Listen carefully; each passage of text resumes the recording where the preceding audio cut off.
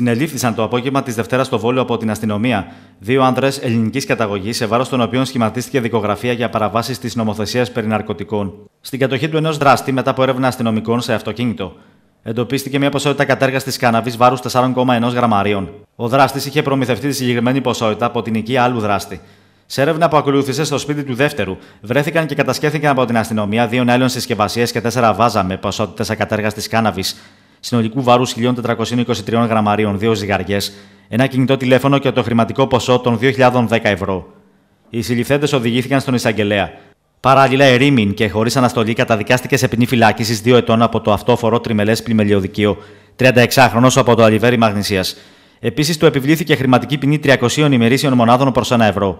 Ο 36χρονο κάθισε στο εδόλιο κατηγορούμενο για κλοπή και διάρρηξη μονοκατοικίας στο Βόλο το καλοκαίρι του 2021. Πιο ειδικά, ο δράστης στι 28 Ιουλίου με τη χρήση τσακουριού έσπασε την πίσω πόρτα αυλής σπιτιού στο Βόλο και μπήκε στο εσωτερικό του με τον ιδιοκτήτη να απουσιάζει. Ο διαρρήκτης ξεκίνησε να ψάχνει σε όλο το σπίτι και βρήκε το ποσό των 100 ευρώ, τα οποία και αφαίρεσε ενώ φεύγοντας έκλεψε και δύο ρολόγια χειρός και μια χρυσή αλυσίδα. Μια ημέρα μετά στις 29 Ιουλίου, ο ιδιοκτήτης επέστρεψε στο σπίτι του και κατήγγειλε την κλοπή. Ο δράστης εντοπίστηκε και εις βάρος του σχηματίστηκε δικογραφία ενώ διαπιστώθηκε και στο παρελθόν έχει προβεί σε παρόμοιες παραβατικές πράξεις.